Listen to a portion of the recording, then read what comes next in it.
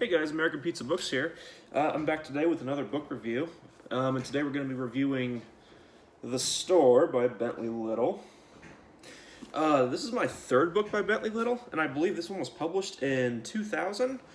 And I've noticed that there's kind of a running theme with Bentley Little in terms of his books. Like, most of them always start with, like, the, and then, like, you know, so, like, the resort, um, the academy, the store, you know, the handyman, you know, so I think that's kind of cool. Um, the other two books that I've read by Bentley Little are The Haunted, which was the first one that I read, and The Handyman, which was the second one, and then now The Store. And I can honestly say every book by Bentley Little that I've read, I've really, really enjoyed. Like I, have not been disappointed yet. Um, you know, there, and he's got a huge catalog of books to read, so I'm, I'm really excited to like work through them and whatnot.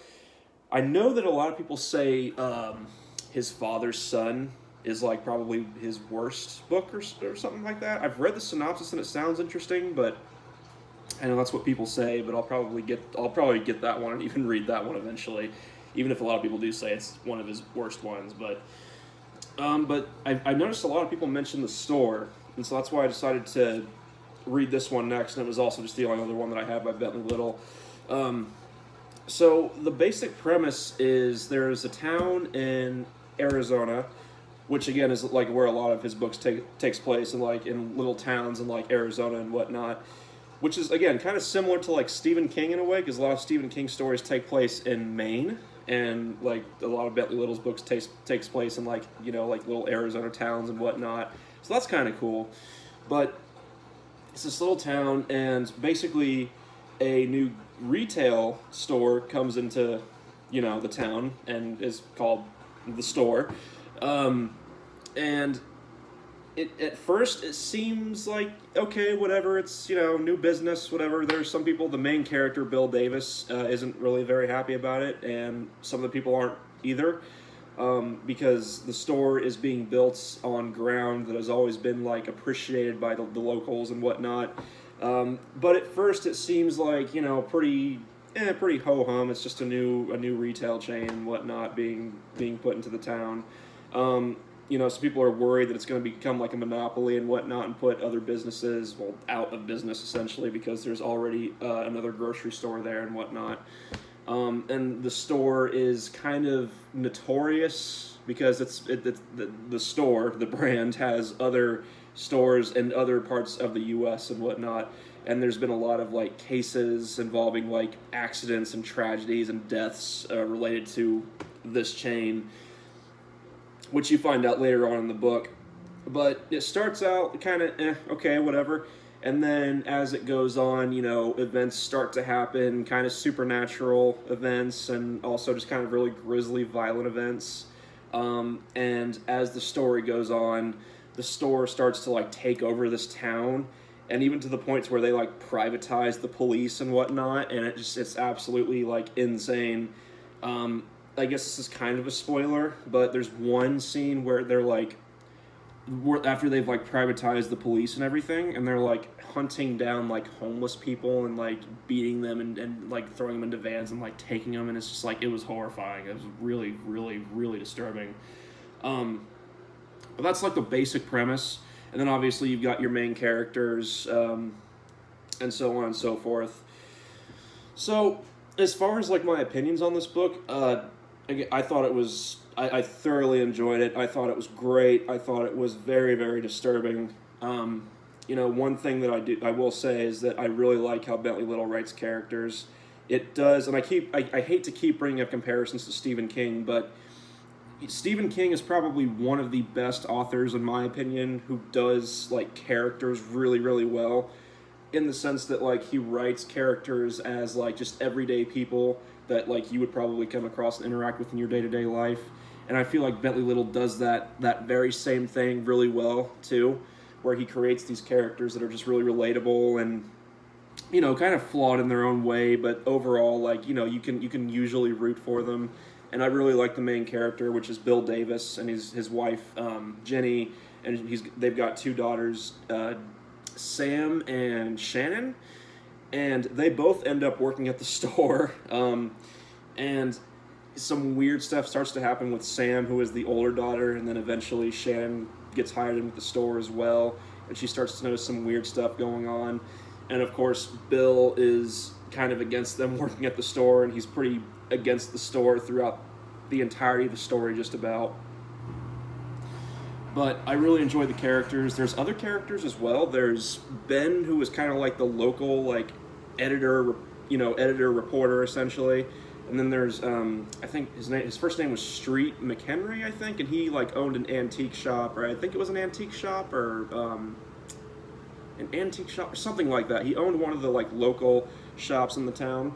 So you kind of see like how he's impacted and whatnot by the store, just because the store is basically acting as a monopoly to every business in town essentially. Um, like the store will get like they're gonna they're gonna invest in having like a barber shop. So like the local uh, barber shop and beauty salons in the town get like put out of business essentially and have to close down.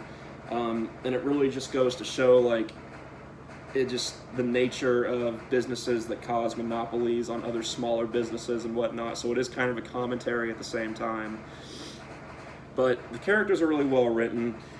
The pacing is perfect. Um, this is another thing that I've noticed with Bentley Little's books, at least the three that I've read so far, anyways. But the pacing is really, really good. There's no like sagging middle, you know, where you feel like things really just slow down and whatnot, which again is kind of a problem with like, for example, and again I'm going to bring them up again, but like Stephen King's work, like in Stephen with a lot of Stephen King's books, like they're usually very good, but there's always kind of like that slow middle, you know, in between where things really, really just come to a screeching halt. And I never really felt that with the store. I didn't feel like there was really anything that didn't need to be there or, or anything that just felt gratuitous and didn't advance the story, except for maybe one thing, but we'll get into that here in a minute. But you know, if, if I was to use like an analogy for, for Bentley Little's books, I would say it's kind of like a sirloin steak. You know, because with, with, with, sirloin steaks, you know, most of the fat is taken off and whatnot. It's very lean, and that's how I would describe Bentley Little's books. Um, as compared to like Stephen King's books, would be like more like a chuck roast essentially. Um, so I really appreciated that. The writing is is really good. I've got no complaints. Um, when it comes to writing, I'm not like really, I'm not super, super picky. It doesn't have to be like super like purpley, you know, it doesn't have to be Dickens or anything like that. Um, you know, obviously Bentley Little isn't going to be the next great American, you know, author of literature or anything like that. But I mean, it's it for what it does. It does its job well. It gets you into the story and it hooks you, um, and you feel like you are actually in the lives of these people experiencing the events that are going down. And in my opinion, as long as the writing in a book can do that, then it's doing its job and it's doing its job well. And in my opinion, Bentley Little's writing is very, very good. Um, and it serves its purpose. Um,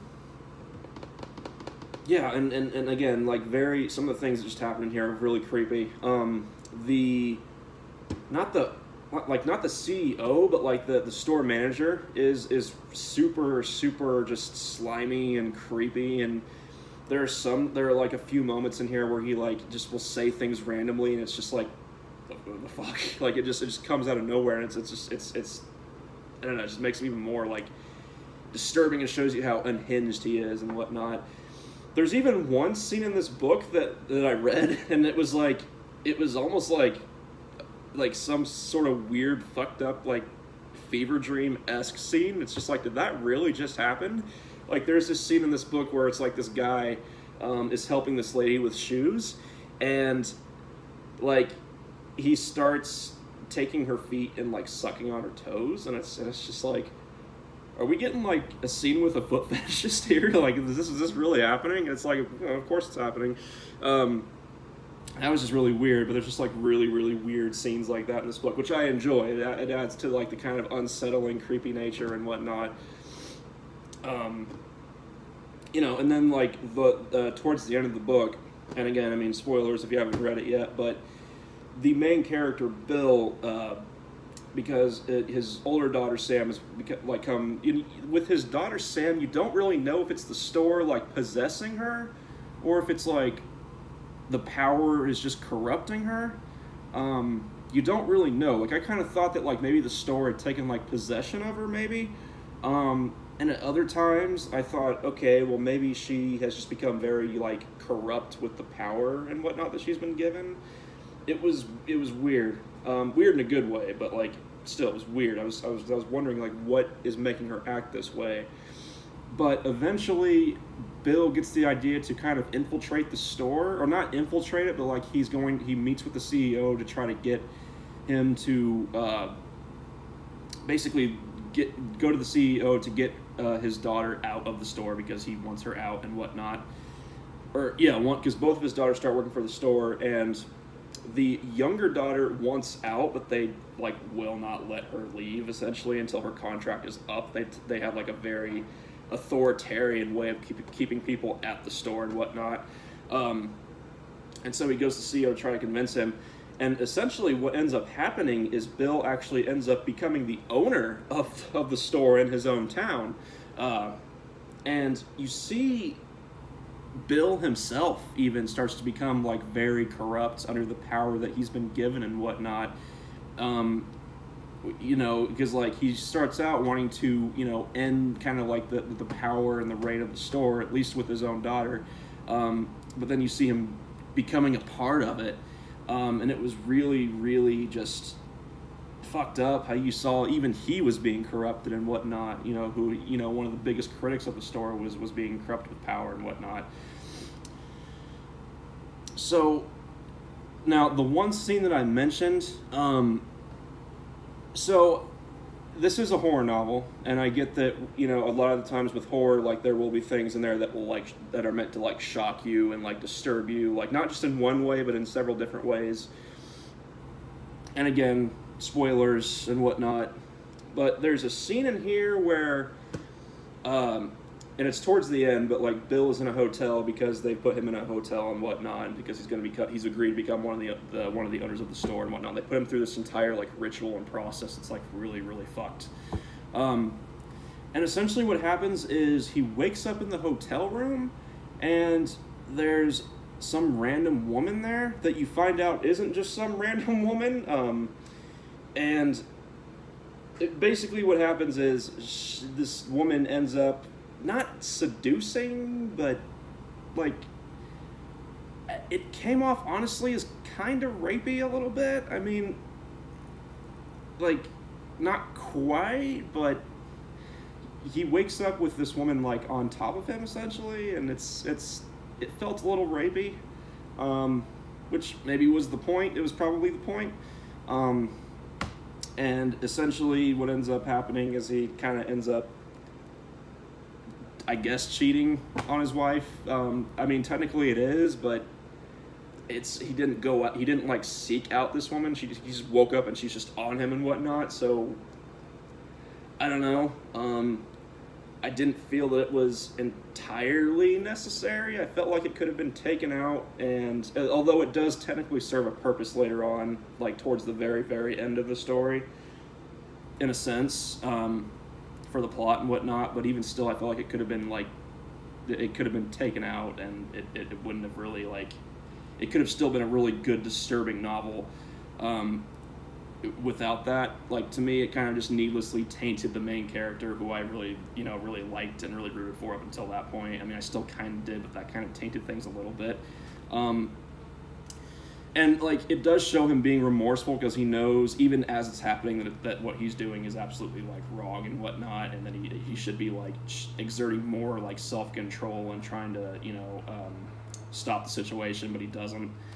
Um, so there is that at least. And then of course you find out um, that the random woman uh, was sam his his daughter. Um, so incest uh, you know which is always disturbing. Um, but I don't know. Like again, it's it's it's horror, and horror is supposed to shock you and disturb you and whatnot. I get that. Um, so I hesitate to say that it shouldn't have been in the story, but I felt like it was kind of unnecessary. Like again, it could have been not there, and it would have been fine.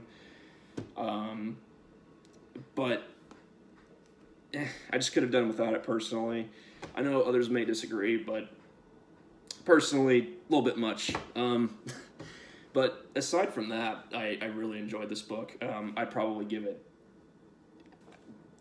probably easily like a solid five out of five. I mean, even though that one scene aside, it was a really good book. Um, and not only was it like creepy and like disturbing, but it also again kind of had that commentary on like big business and um, you know monopolies and and stuff like that, and how power corrupts and whatnot, how it can corrupt like even people like Bill and and, and whatnot.